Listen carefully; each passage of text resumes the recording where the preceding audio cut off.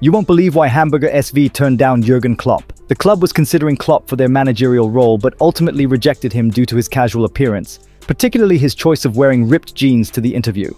The club's officials were concerned that Klopp's laid-back style, often seen in tracksuits and jeans, wouldn't present well in the media.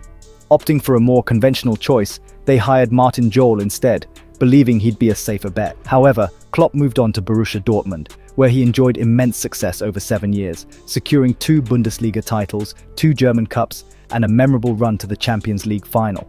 In contrast, Jol's tenure at Hamburger SV lasted just one year.